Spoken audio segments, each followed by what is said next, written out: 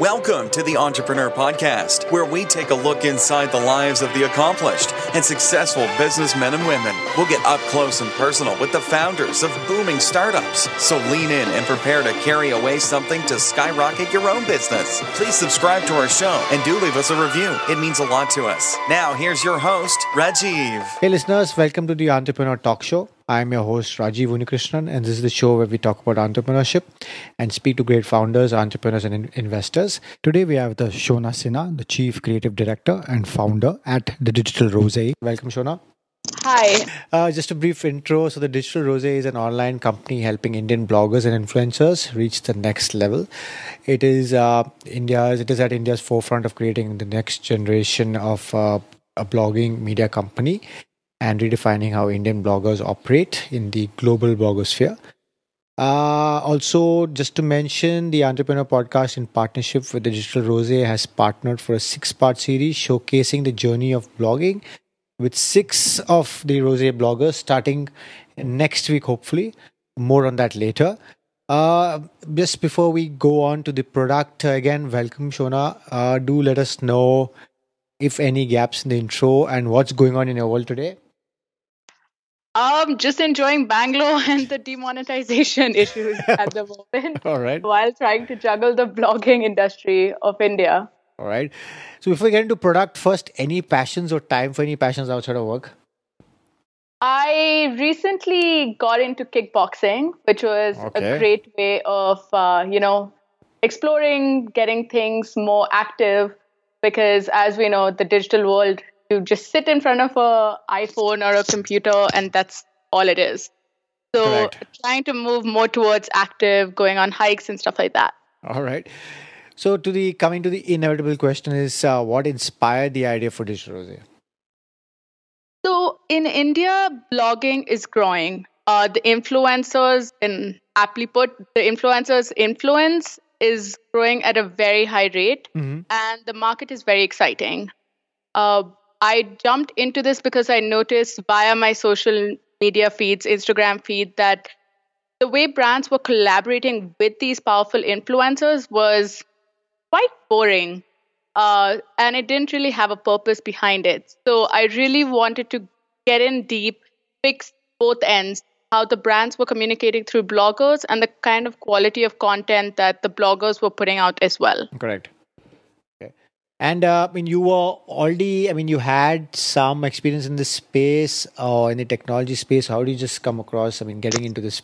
So I, uh, when I graduated from the US, I moved back to India, and I really wanted to explore the startup scene in India. Um, it's so exciting right now, I, especially in Bangalore. It's Correct. about startups. So I started working at a marketing agency, and there, what I noticed was that while dealing with clients, creativity was getting really nuzzled out, a very liquefied. So by the time people were actually putting out their branding or their marketing out there, it wasn't really at par. So I started doing a lot of research, um, read a lot of books by great entrepreneurs and market heads, Oh, and realized that um, India has the potential to reach at the level that these authors were writing about in the Western world. Mhm. So I wanted to make sure that this knowledge was tailored for Indian market, but also push the boundaries beyond what the Western world has done. All right. And what would the vision be for the company? The vision for the company is two parts. One part is actually giving the knowledge of the bloggers. So in India right now, um, people assume that if you open a WordPress account, you're a blogger. Yeah. and they want the success of you know the top bloggers like Kiara Farani or House of Misu or stuff like that, and that is not true. So we are working very hard at educating the bloggers to make them the best version of themselves.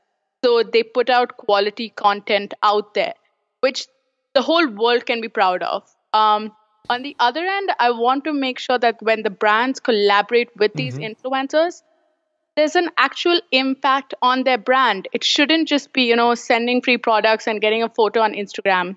It should have something to assure that there's a brand recall or getting what your brand persona is all about. Correct. So I want to make sure that they both uh, gel well together in the most knowledgeable way. All right.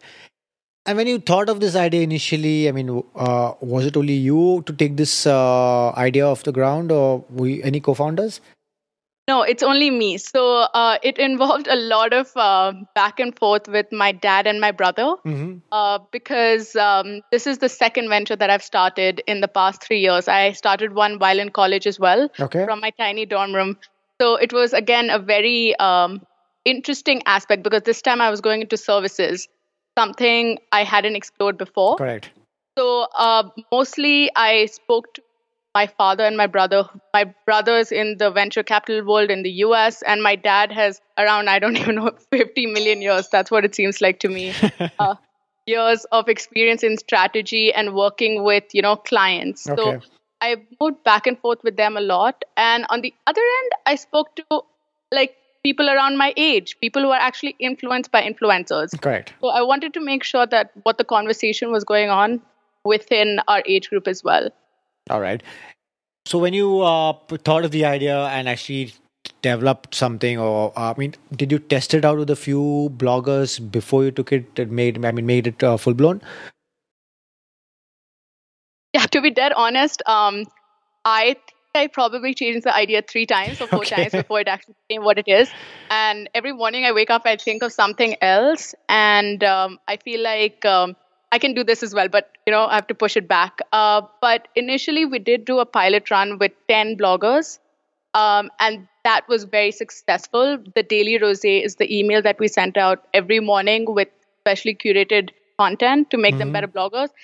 That just went off the marks. They started telling their friends, their blogger friends, and we just kept getting emails. So we were like, okay, wait, we might have something here. Correct. Uh, then we moved into the other phases because we wanted to make sure that we were keeping, you know, even those 30 bloggers who had trusted us to give them the best content before, you know, just rushing through that Correct. like other brands often do. yeah.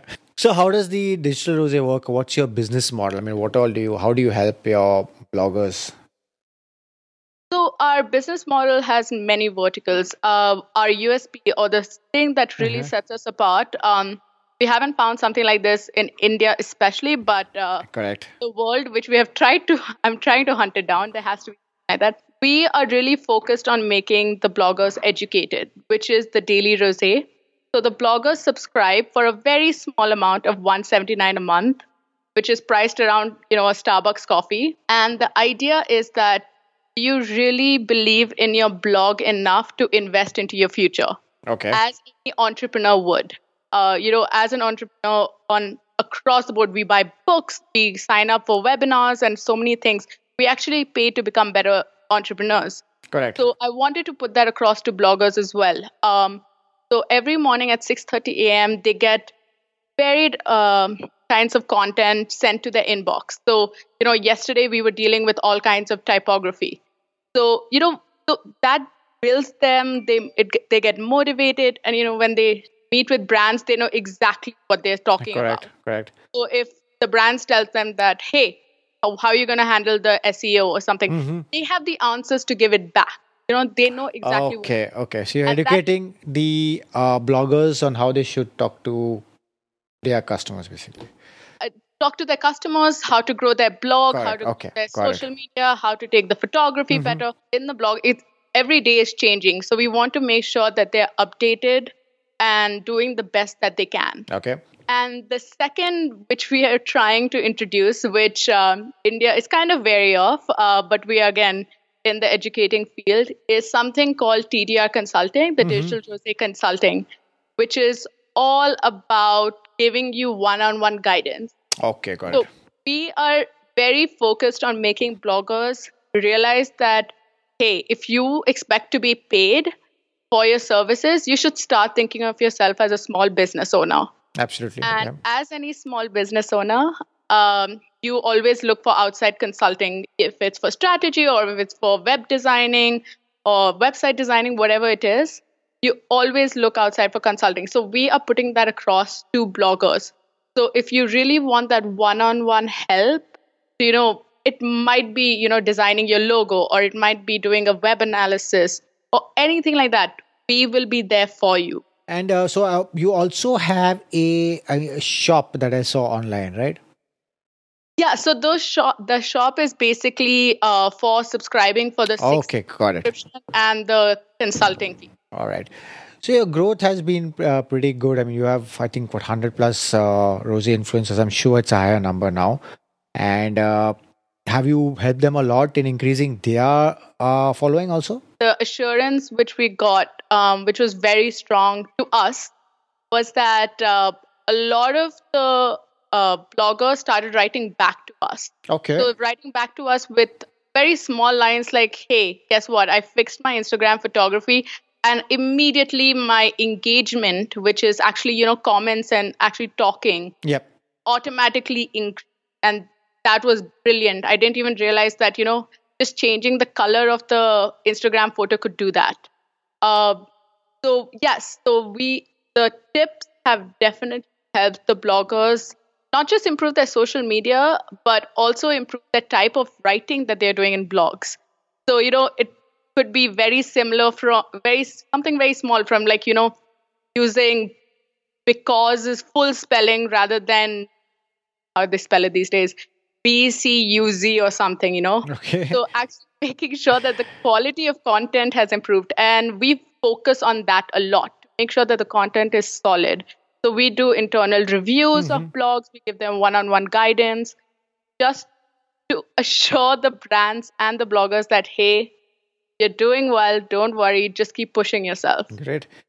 So your revenue model would be pure play subscription, right? As of now? Um, that's one, and then on the other end, we're working with brands as well. Okay. Uh, yeah. So um, what sets us apart is because we are educating the bloggers, the brands are actually quite excited as well because they know it's not just that they're working with random bloggers they found on correct. uh, correct.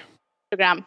They know that there's someone behind it. We have a rapport with the bloggers. So they are constantly in communication with us as well. So we do various different um, ways of interacting with the brands that can range from, you know, directly them by emails or event hosting and planning, creating influencer marketing campaigns, or we're thinking of adding something new which just went up on the site a week ago, actually starting influencer think tanks and focus groups.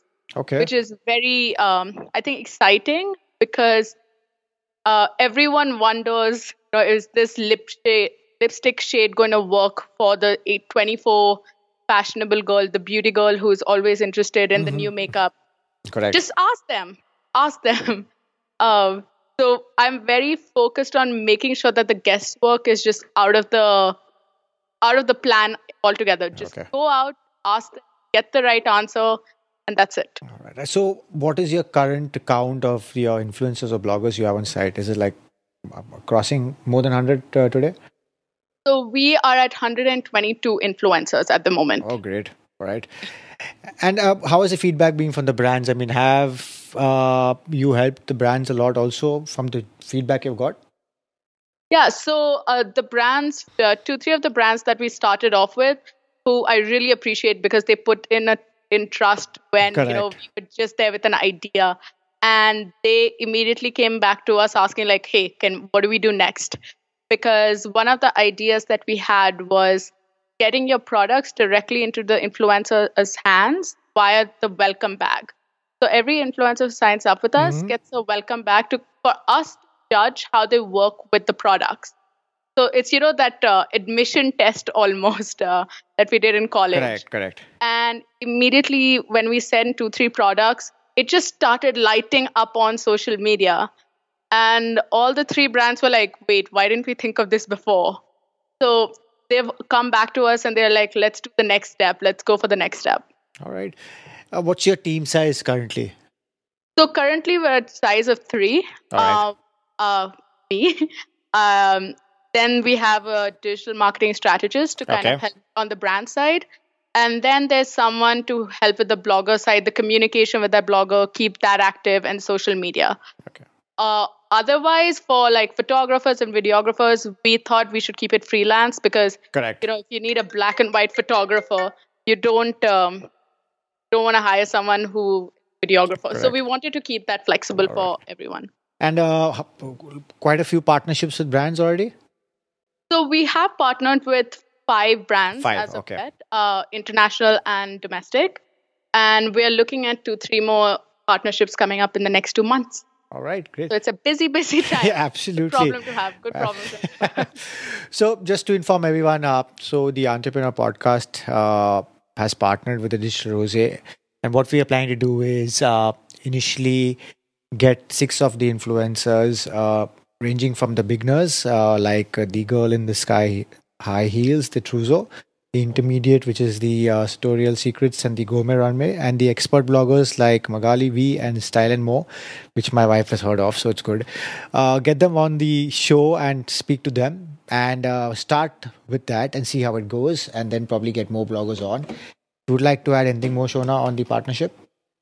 Yeah, I'm very excited about this because I strongly believe that any customer that guesses the target audience needs, wants, brand approach, or any other factors is simply stealing your money.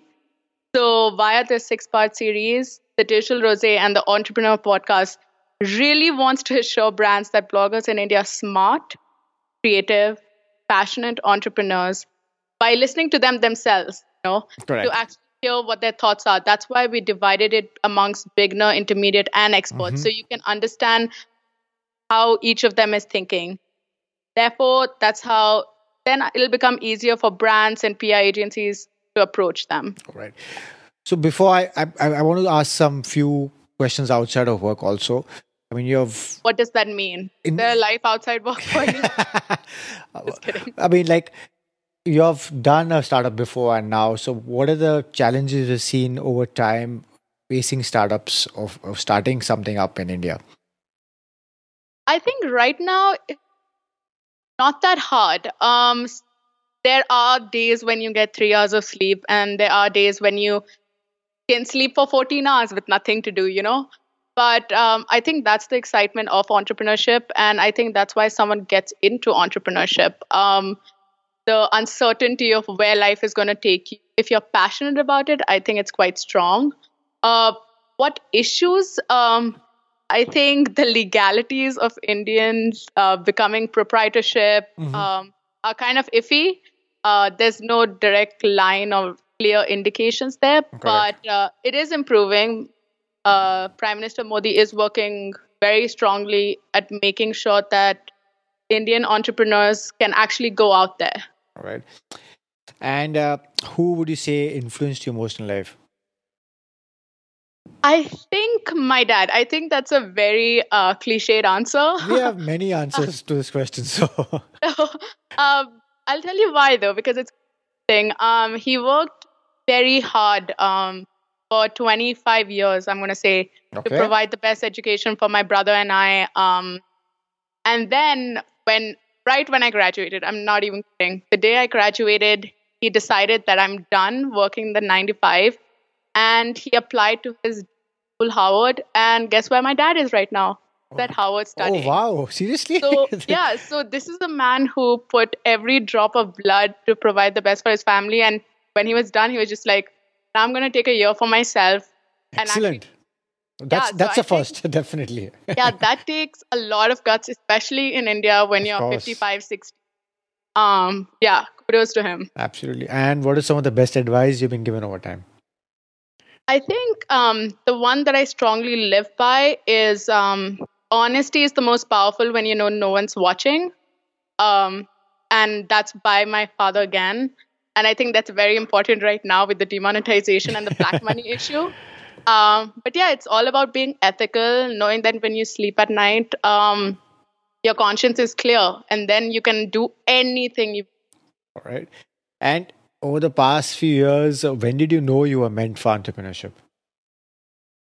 My parents say that it came from my nana, uh, Okay. my grandfather, Yeah. but um, I always knew that I would find it very tough to work for someone else. Um, because not because I'm stubborn or stuff like that, but I have a very logical reasoning to the way I'm behaving or the way that I'm putting a project across, which the other party might not understand. Correct. Um, and I always come with clear instruction, like OCD almost to the detail. so I always knew that I have to do it on my own, or else it might be a pain for my boss if I show him up one too many times. And that happened one to two times. Correct. And they were just like, hey, you want to sit out this meeting? So now at the Digital Rose, I don't have to sit out any meetings. Correct. and where do you see uh, yourself and your business, let's say, in the next two to three years? I am very ambitious. Um, so I'm hoping that uh, via the Digital Rose, the influencer marketing climate in India change, changes completely. It means more educated bloggers, and on the other end, uh, better brand collaborations that the world's of. And hopefully, the brands and the bloggers will do it through the Digital Rose. All right, all the best with that. Finally, we come to a part of the show which is a quick fire round, simple, brief Oh, answers. all right. So when people ask you what do you do, how do you answer that? Ask me what? I'm sorry. When people ask you what you do, how do you answer that? Oh, I um, the auto driver asked me yesterday, and I was like, celebrities say you know uh, sell stuff through mini celebrities. All right. So that's, First of all, you have guts to travel in auto in Bangalore. Anyway, I don't think there's any better way to travel. the traffic is just too much there. So when you think I- of the word successful, who is the first person that comes to mind? Um, I think different ways, monetary or in life. I think my dad, Mhm. or I would also say, no, All right. Let's think my dad. No problem. What do you excel at that people might not realize? Finding the mistakes in the details. Okay. And what is something you believe in that other people think is totally insane? Being way too truthful for anyone's good. And Shona's greatest Shona's greatest weakness? Shona's greatest weakness is not being able to say no, I think. and your favorite city globally? New York. Always, same here. Always, always. and finally, uh, any piece of advice that you want to give our aspiring listeners and founders? Um, I think I have just begun in this industry, but I strongly believe, and all your entrepreneurs who are listeners have been in this field for longer, and I think they'll absolutely agree that kindness goes a long way. Correct. Um, yeah, kindness goes a long way. Giving someone who you don't think is qualified two minutes of your time goes a long way, and because it surprised me Absolutely. Yep. it surprised me when I spoke to a col- recent college graduate and he just blew my mind. I was like, wait, how come I didn't think of that? And I could have totally missed him at the Correct. So kindness goes a long way. okay. Please let our listeners know how they can reach you and also the digital Rose. You can reach the Digital Rose at uh, www.thedigitalrose.com Mm-hmm. or you can reach me at shona.sinha, S H O N A dot Sinha, like the Sonakshi an actress, Okay. at thedigitalrose.com. All right. Again, uh, Shona, thanks for taking the time to talk to us and inspiring our listeners to start your adventures. And all the very best at building and scaling the digital Rose. Thank you so much for your time. I'm very excited for this six part series. I Same think here. Absolutely. Quite exciting. So do visit uh, thedigitalrose.com and visit us at theasianentrepreneur.com to get the show notes and also please subscribe to the show on all the platforms and leave a review on your thoughts about the show. Thank you. Thank you for listening, and please subscribe to the show so you don't miss an episode. In the meantime, head over to theasianentrepreneur.com and check out show notes and other information to motivate you in your entrepreneurial endeavors.